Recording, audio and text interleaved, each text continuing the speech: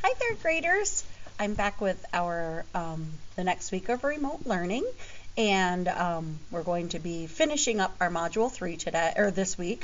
So we're going to I'm going to um, teach you a lesson and then I'm going to assign you some review work to be doing in Ed Your Friend in Learning this week so that way we can see if we're ready to move on to our next module.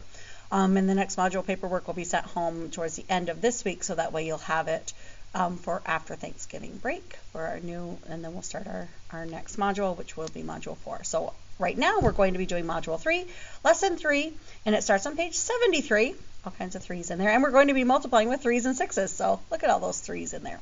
So um, I'm going to get my camera ready. So go ahead and get your papers right in front of you so that way you're ready to begin and make sure you have a pencil so that way you can follow along with me. All right.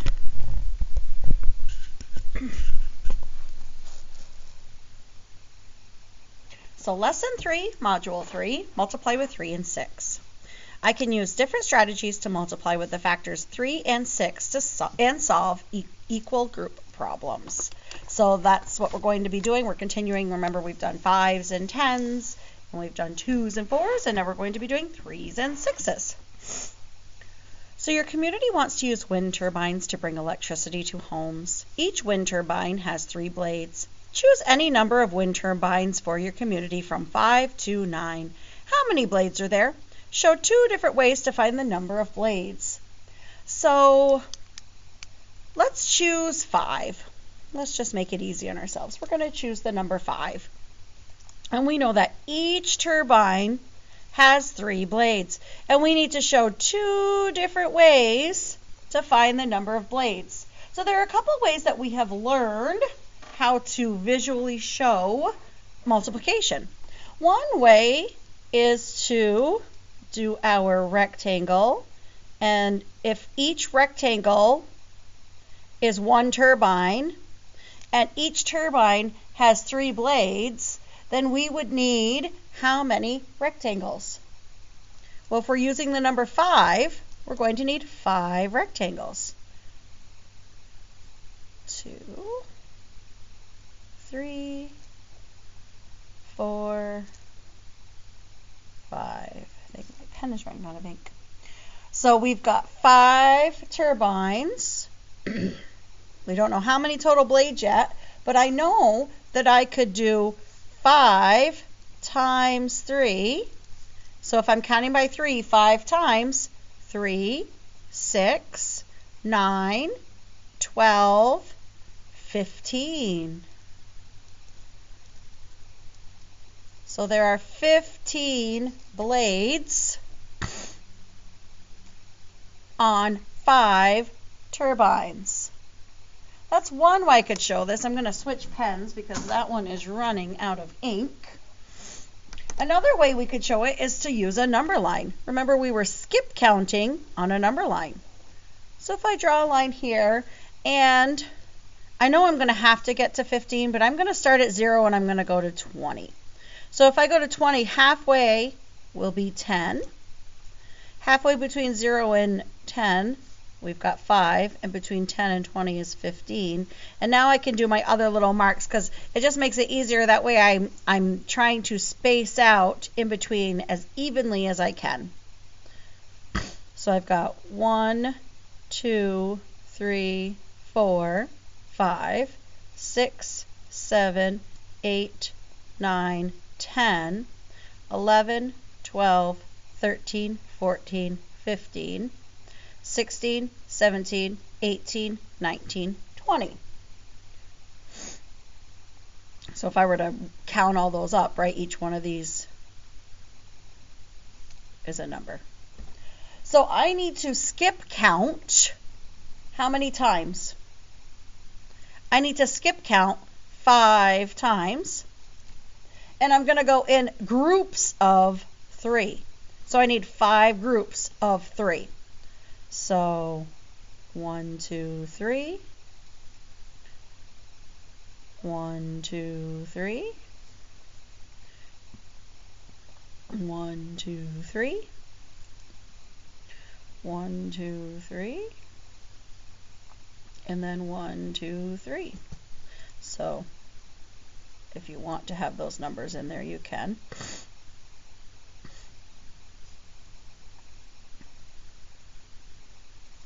But what number did I land on? I landed on the number 15.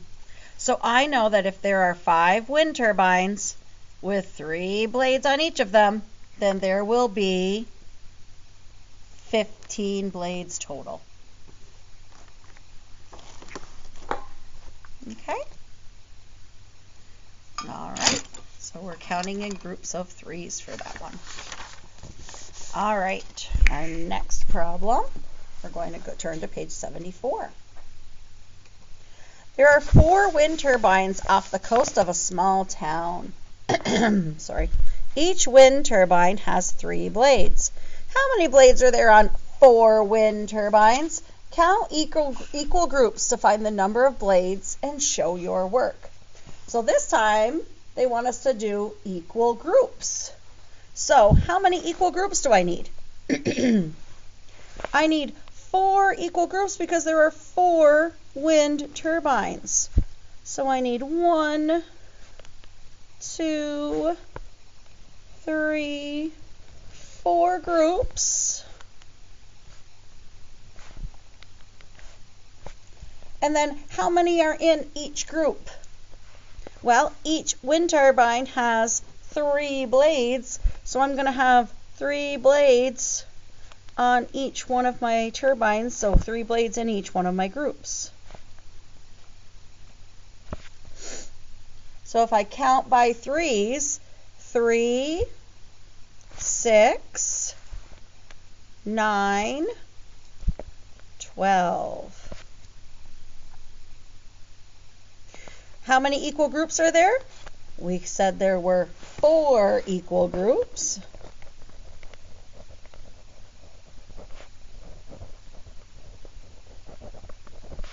How many objects are in each group? Three.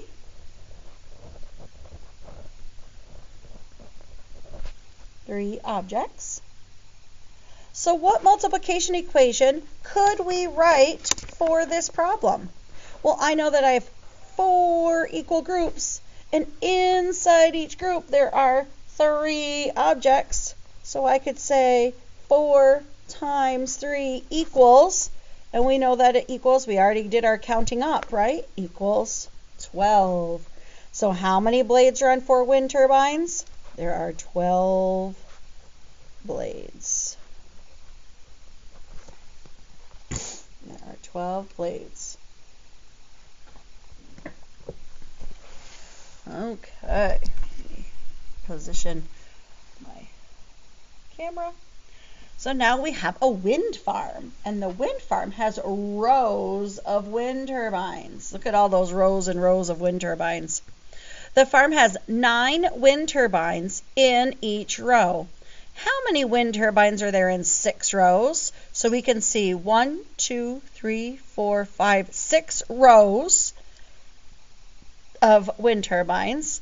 And there are one, two, three, four, five, six, seven, eight, nine in each row. So we know our multiplication equation would be 6 times 9.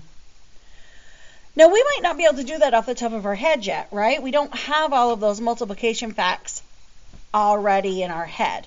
But we could use some facts that we already know. We skip count by 5 a lot, right? I can remember in kindergarten, my kindergarten, my son Nicholas was skip counting by 5 so that's a, a fact that, that you should be able to do pretty quickly and pretty easily. So, and then that can help us to get to 6 times 5. We're going to use one we know to help us get there. So we're going to write a 5's fact with a factor of 9. That just means that we are going to be multiplying 5 times 9. So let's think about that. Let's count by 5s 9 times. 5 10, 15, 20, 25, 30, 35, 40, 45. Right? Isn't that easy to count by those fives nine times? And I can use those fingers, right? I could do 5, 10, 15, 20, 25, 30, 35, 40, 45. There's my nine. So I know that it equals 45. Now that's close, but is that my, all of these? No, that's actually only five of these rows. How am I going to get the last row?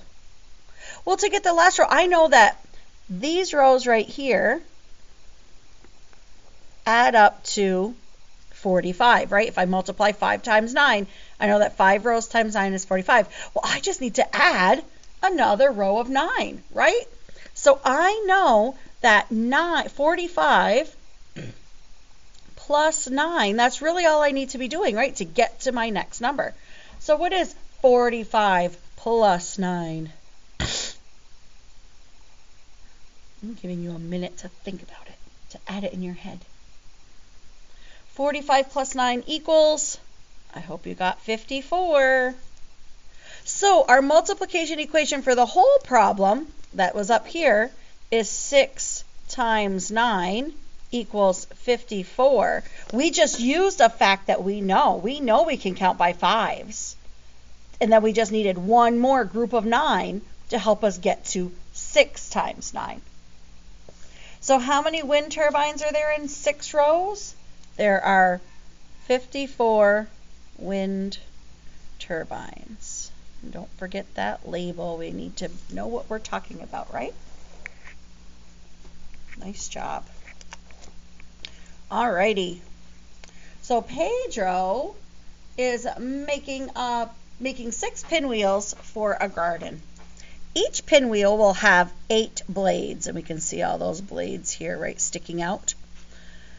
How many blades will be on six pinwheels? So we have 6 times 8 is our multiplication equation. 6 times 8 equals, we don't know. We're going to this time use a threes fact and doubling to help us figure this one out. So we're going to write a threes fact with a factor of 8. So that just means we're going to do 3 times 8. Okay, so we just want to know what it would be a 3's fact, which is our 3, with a factor of 8, so 3 times 8. So what is 3 times 8? Well, let's count. 8, 16, 24, right? If I count by 8 three times, I get 24.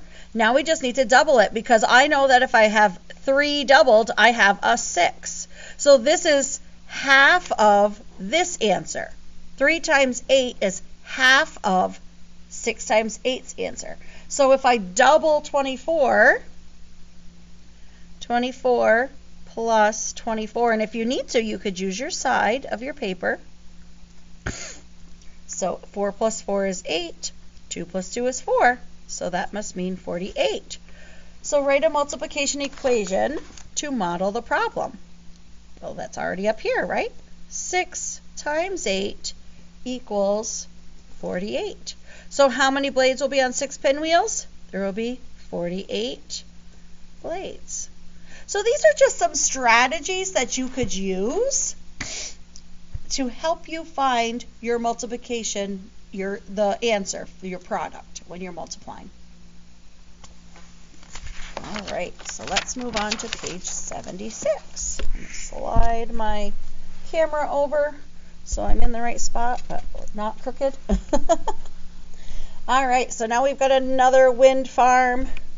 This wind farm has six rows of wind turbines. And then there are four wind turbines in each row. How many rows, how many wind turbines are there in six rows? So I can see I've got one, two, three, four, five, six rows, and there are one, two, three, four wind turbines in each row. So we're going to first complete the multiplication table to help solve the problem. Use strategies you know to find the products for the threes facts and the six facts. So let's see if we can figure out how to finish this multiplication chart. So I know that if I do, so this, this tells me that I'm going to take the number on this side, multiply the number on this side, see how they're, and then they're going to meet with the answer. So 1 times 1 equals 1. 1 times 2 equals 2. 1 times 3 equals 3.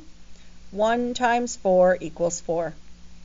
And then if I go to my next row, 2 times 1 equals 2. 2 times 2 equals 4. 2 times 3 equals 6. And 2 times 4 equals 8. So now let's do our threes. 3 times 1, 3 times, anything times 1 is going to equal itself. So that would equal 3. 3 times 2, so that's two threes. So 3, 6.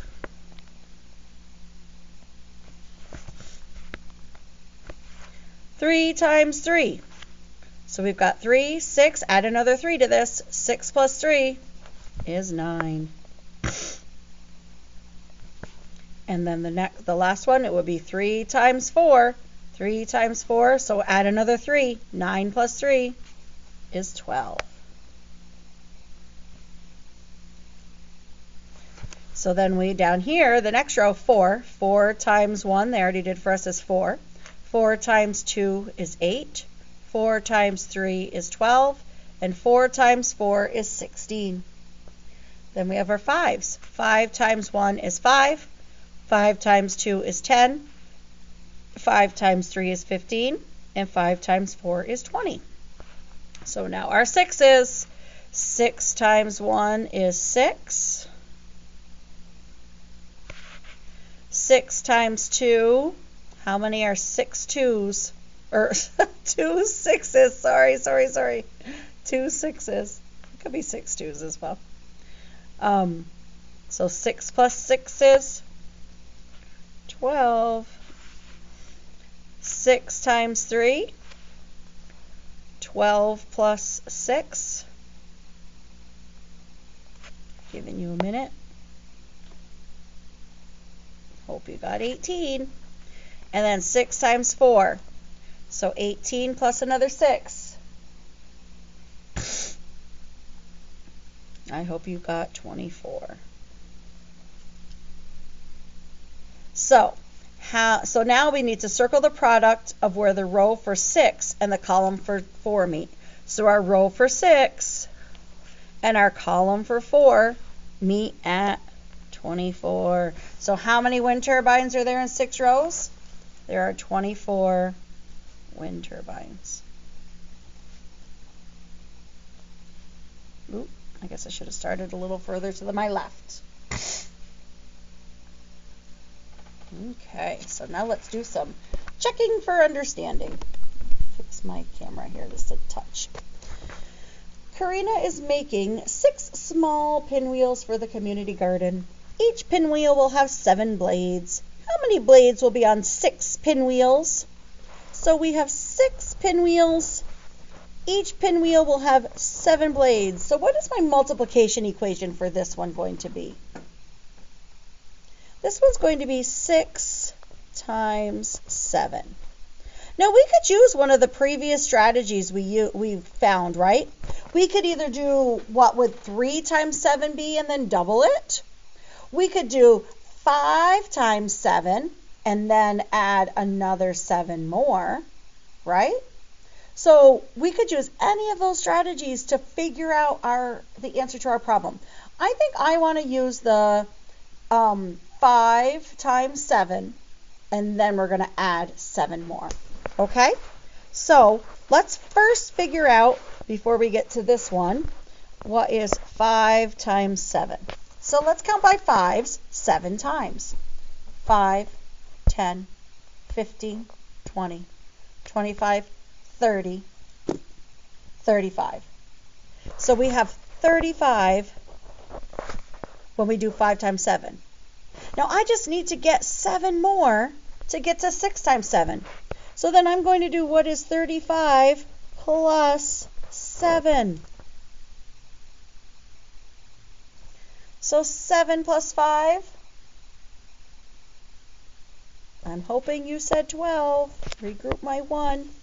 And then 1 plus 3 is 4. So 6 times 7 is 42, which so that means how many blades will be on 6 pinwheels? There will be 42 blades on six pinwheels. So that time we use the fives fact. This time we're going, they want us to use a threes fact and doubles to find the product for this one. So let's take our 6, right? And we're going to split it and have to do a 3. So we want to do what is 3 times 9. And then we're going to take that answer and double it. So 3 times 9. Well, let's count by 3s 9 times. 3, 6, 9, 12, 15, 18, 21, 24, 27. So 3 times 9 is 27. Now I need to, so I found my 3's fact, now I need to double it to find my product, to find my answer. So now I need to do 27 plus 27. So I've got some room over here because I know I'm going to need to regroup. So it might be just as easy to do it off to the side. 7 plus 7 equals 14. I regroup my 1. 1 plus 2 is 3. 3 plus 2 is 5. 54. So that means that 6 times 9 equals 54.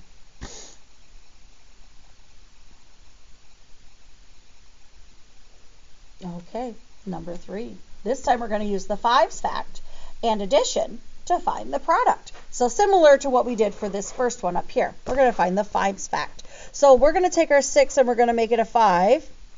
And we're going to do five times eight. So let's count by fives eight times. 5, 10, 15, 20, 25, 30, 35, 40. I get 40.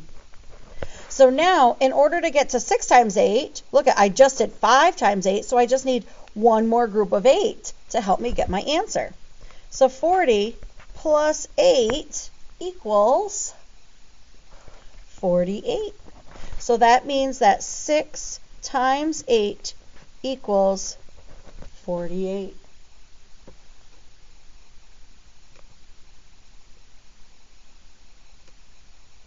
All right, now we're going to move to the on your own section. So remember, this is where if you feel comfortable or if you just want to try them independently, you could pause the video here and try it and then come back to the video and check your answers, or you can just stay right with me and we can do these together. It's your choice. All right, so Michael buys two packages of hamburger buns. Each package has the number of buns shown. So we can see that each package has how many buns? One, two, three, four, five, six. So I'm just going to put that under here. So each package has six buns. So that way I know. How many hamburger buns are there in two packages? So this is just one package. We want to know how many are in two packages. And we're going to do this by showing the equal groups first. So I have how many groups? I've got two groups. And how many are in each group? One, two, three, four, five, six. One, two, three, four, five, six. I've got six in each group, right? I can see that here. So what would our multiplication equation be? Well, I have two groups of, how many are in each group? Six. Two groups of six equals what is 6 plus 6? 12. So there are 12 hamburger buns. Number 5. Find the product using a fives fact and addition. So we're going to use our fives fact to help us find the answer. So I'm going to take my 6 and I'm going to make it a 5 because I'm just going to go one less factor and I'm still multiplying by 7. So let's count 5 seven times. 5, 10, 15, 20, 25, 30, 35. 35. So now I need to just add one more group of 7. So 35 plus 7. If you need to do it off to the side. Whoops, sorry. If over here, just so you can line them up. 7 plus 5. I hope you answered 12. Regroup my 1. And then 1 plus 3 is 4. So 35 plus 7 equals 42. So that means that 6 times 7 equals 42. Now we're going to do 6 times 6. So I'm going to regroup my 6, make it a 5. I'm going to change that factor, but I'm still multiplying by 6. So now I need to figure out how many 5 sixes there are, or how many 6s there are for 5 of them. So 5, 10, 15, 20, 25, 30. So I have 30. And then I just need to add one more group of 6. So 30 plus 6 equals I don't really need to do this one off to the side, 36. So that means that 6 times 6 equals 36. Okay, now for number 7 and number 8, we're going to find the product using a threes fact this time, and then we're going to double it. So I'm going to take my 6, and I know that I can split my 6 in half and make it a 3, right? So if I do 3 times 4, my answer, once I double it, will be the answer for 6 times 4. So I'm just basically finding half of this one.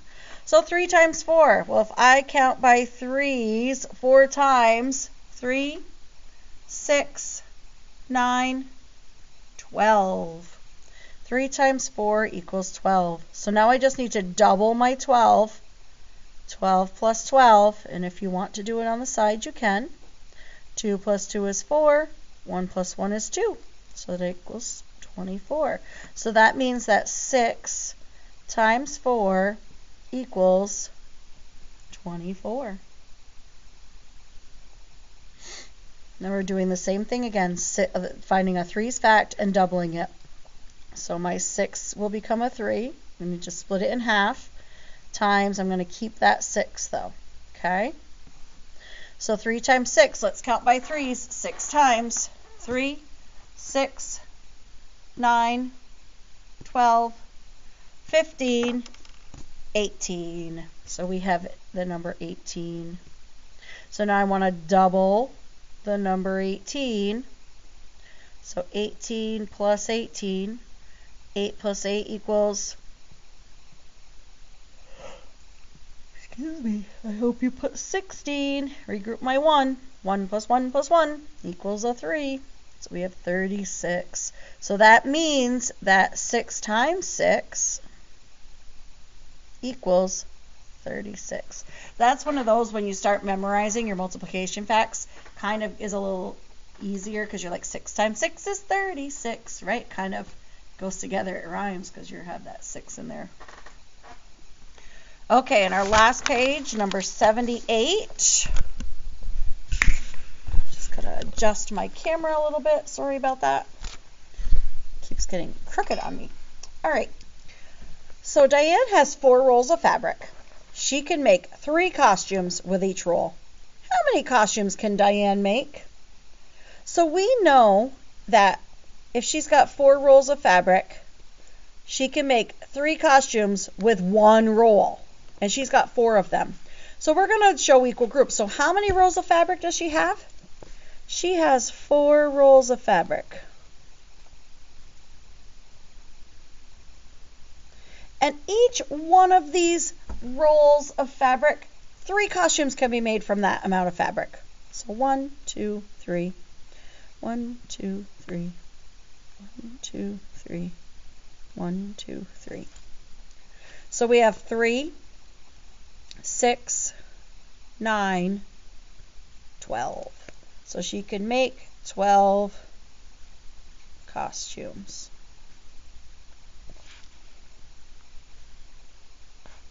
Number 10. Devin plants six rows of tomato plants in the garden.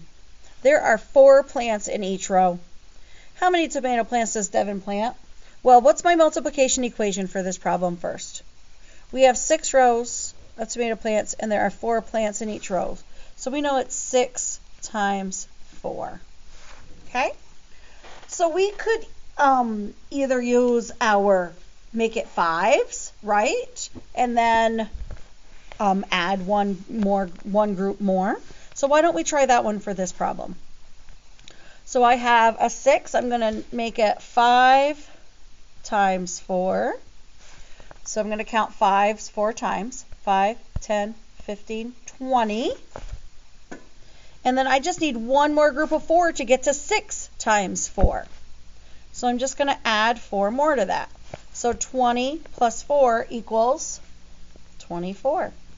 So there are 24, I'm going to put my label down here, tomato plants.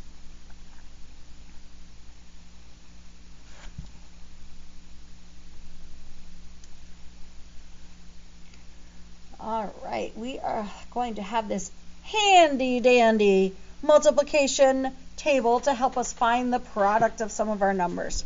So I'm going to look, so when I look first at this chart, I see there's some holes in it, right? There are some blank spots. So let's first fill in those blank spots. Let's figure out what the answers should be in those spots, okay? So if I am in this row, right, uh, that means I'm doing 3. So 3 times, and then the column down here, so 3 times 7. So if I had 18, I just need to add 3 more to that. So 18 plus 3 is 21. So I'm still in the row for 3, but now I need the column for 9. So I'm going to add 3 more to my 24. 24 plus 3 is 27. Now I'm my next um, blank spot is in my sixth row. So it's 6 times 7. So I'm going to add another 6 to 36. 36 plus 6. 36, 37, 38, 39, 40, 41, 42. Now I want 6 times 9, so I need to take my 48 and add another 6 to it. 48 plus 6, 49, 50, 51, 52, 53, 54. 7 times 3. So what's 14 plus 7? 15, 16, 17, 18, 19, 20, 21. Now I want 7 times 6. So I'm going to add 7 to 35. 36, 37, 38, 39, 40, 41, 42. And finally, I'm going to be in row 9. So 9 times 3, so 18 plus 9. 19, 20, 21, 22, 23, 24, 25, 26, 27. and 9 times 6. So I'm going to add 9 to 45. 46, 47, 48, 49, 50, 51, 52, 53, 54. So that helps me fill out my chart. Now I want to show you how to use the chart to find your answers. So I want 3 times 9. So I need to find the 3 row and go across until I get to the 9 column. 3 times 9 equals 27. 6 times 9. Find my 6 row, go over to my 9 column, and I meet at 54. 3 times 7. I start in my 3, and I need to go and meet at my 7, which is 21. 6 times 7, my 6 row, my 7 column, and I meet at 42. Now I can do the same thing for all of these down here. I can use my 3 row and my 8th column. Third row, 8th column brings me to 24. 6 times 6 my sixth row and my sixth column. And I meet at 36. My eighth row times my sixth column. Eighth row, sixth column, I meet at 48. 3 times 10. This one we should be able to do on our own, right? We could just count 10 three times 10, 20, 30. We don't even need to look at our chart for this one. What about 5 times 6? We could also do that one without looking at the chart. 5, 10, 15, 20, 25, 30. 4 times 3, we should be able to do this one without the chart as well. 3, 6, 9, 12. 6 times 7, now we could use a strategy we've learned or we could just use the chart. 6 times 7 equals 42. Now you're not always going to have the chart, so you are going to want to make sure you use those strategies. And eventually you're going to have these all memorized, so you won't even need the chart. And then 9 times 6. 9 times 6 equals 54. Great job. All right, so for independent work that I need you to do and then return to me at school, um, either through a picture or by dropping it off at school, will be 3.3. So you're going to do that black and white sheet that's right after this page. And then I also want you to do the Module 3 review. So you're going to do, this has a front and back as well. So this page and this page as well. So um, you're going to need to do the black and white worksheet that goes along with Module 3, Lesson 3. So it says 3.3 up in the right hand corner. And then you also need to do this review worksheet.